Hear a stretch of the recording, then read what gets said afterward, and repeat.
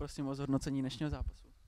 O, tak o, sice jsme prohráli, ale myslím si, že jsme hráli dobře. Hráli jsme spolu poprvé, ale o, neřekla bych, že jsme si to nějak prohráli. Udělali jsme možná víc nevinucených chyb, než jsme museli, ale dobrý zápas.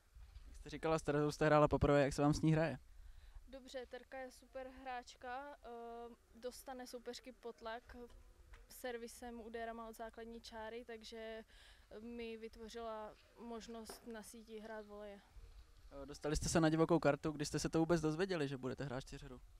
Tak uh, napsali jsme se den před uh, uzávěrkama a vlastně do poslední chvíle se neví, kdo dostane volnou kartu. Měli jste nějaké vítězné ambice, nebo jste si to chtěli spíš nějak užít ten turnaj čtyřhry? Tak uh, určitě jsme chtěli vyhrát, co? nepovedlo se, nevadí, ale zápas jsme si užili. Jaké jsou vaše osobní cíle, eh, myslím tenisové v roce 2016? Uh, tak uh, chtěla bych obět uh, Grand Slamy, kvalifikace nejméně tento rok.